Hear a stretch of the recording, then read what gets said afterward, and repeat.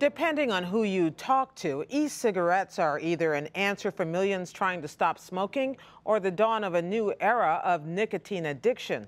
They're either a big threat to big tobacco or they may save it. As special correspondent John Larson reports, for good or ill, e-cigarettes remain completely unregulated by the federal government. That's about to change. How long have you guys been vaping?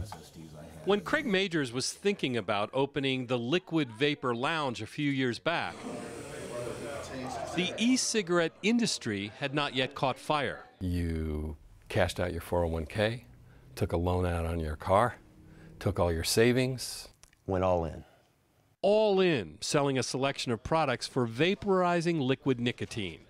There was only a handful of so called vape shops in Oklahoma City at the time, but that changed almost overnight. Three years ago, 10 shops. Two years ago, 15. Now, 200. In less than five years, vapor products and e cigarettes have become the fastest growing sector of the $100 billion American tobacco industry, with Hollywood pitch women. I'm Jenny McCarthy, and I finally found a smarter alternative to cigarettes. Appearing in local Super Bowl ads. Friends don't let friends smoke. And even in HBO's Veep. Catherine, you are smoking? I'm vaping. In fact, an estimated 20 million Americans have taken up e cigarettes and vaporizers, many motivated by the same thing. It helped me not want to go back to cigarettes. It worked. Three years, uh, no cigarettes. It looks like we may have a product that could deliver nicotine to the lungs without combustion. So, for some currently addicted adult smokers, if they could completely switch to e cigarettes, this could conceivably help. And it's that message that the FDA and Big Tobacco agree on that e cigs may be a safer alternative for cigarette smokers. We know what smokers want. And why Robert Dunham of Reynolds American calls e cigs the industry's holy grail. If you can uh, deliver uh, satisfaction to adult tobacco consumers in a way that poses far less risk, uh, let's go. I mean, this has got to be the, the billion dollar idea, right? But despite the industry's runaway success, there has been little research and no federal regulation. Two years ago, researchers at the University of California, Riverside discovered some vaporizing systems exposed users to heavy metals. Another study revealed vaporizing liquids at high temperatures, while uncommon, could expose users to high levels of formaldehyde, a known carcinogen. If you think that you're picking these up because they're glamorous and that you're not going to have any downstream or long-term effects as a result of this, I think you're kidding yourself. Dr. Thomas Sussan at Johns Hopkins University found in a recent study of mice that while healthy lung tissue looked like this, the lungs of mice exposed to e cig vapors looked like this, showing evidence they were less capable of fighting infection. He also discovered free radicals, the same dangerous chemicals found in tobacco smoke. It was not to the level that what we see in, in conventional cigarettes. But the number of free radicals that we detected was 7 times 10 to the 11th, which is a huge number. So it's very likely that those free radicals are going to inflict some level of damage in the lungs. The FDA has failed to recognize the impact of the advertising of this product towards young people Matt Myers of the Campaign for Tobacco Free Kids says according to the Centers for Disease Control, e cigarette use has tripled in middle and high school students in just one year. An estimated 2 million kids exposed to nicotine. It's the way to be cool, it's the way to be sexy, it's the way to be independent, it's the way to be rebellious, and it's the way to be just like everybody else. And it's no surprise. It is appealing to millions of kids.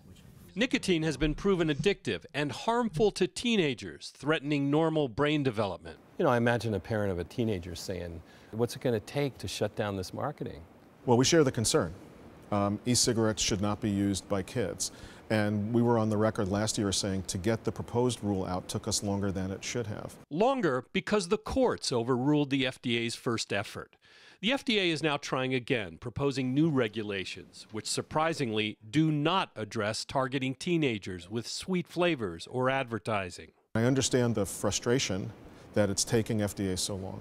There needs to be a little patience. We need answers to the questions that have been fielded in the many studies that we have put out there to have the full regulatory framework in place for e-cigarettes. Have you ever had um, uh, Suicide Bunny's mother's milk? Visit any vape shop and you'll find hundreds of flavors called e liquids or e juice. Some do appear to target the young, with sweet flavors like strawberry shortcake or Captain Crunch or gummy bears. The industry is not targeting children. Just because you're an adult doesn't mean that you don't like uh, gummy bears. A former rodeo rider and recovering addict, Sean Gore is an advocate for Oklahoma's vaping industry. You know, I, I see adults buying you know, packs of gummy bears all the time. I mean, just because you're an adult doesn't mean that you don't like good flavors. And it's the growing abundance of flavors, variable nicotine strengths, and customizable equipment that Gore says is so popular. Vape shops offer what's called open systems, so customers can pour e liquids into open vaporizers. Big Tobacco, on the other hand, offers what's called closed systems. The nicotine liquid is already enclosed within the e cig, which turns out to be a huge point. Because even as the FDA is writing its proposed regulations, Big Tobacco is lobbying to outlaw the increasingly successful open systems offered by its competitors. We do have, and we've heard legitimate concerns from, from others about uh, the, uh, uh, the dangers of exposed nicotine. And that's one that we believe uh, ought to be addressed. Liquid nicotine is highly toxic. Too much can be lethal. Many of the new vapor entrepreneurs are small business. The owners of the Vapor Hut in Oklahoma City, for example, used to sell snow cones out of this truck. They now have six vape shops and a multi million dollar online business selling 140 flavors, which, even in the absence of regulation, they are mixing in what they describe as clean rooms. And they are just one of thousands of new small businesses now competing with big tobacco. It feels like a million small businesses are crawling in over the walls into a business that you guys traditionally have relatively owned.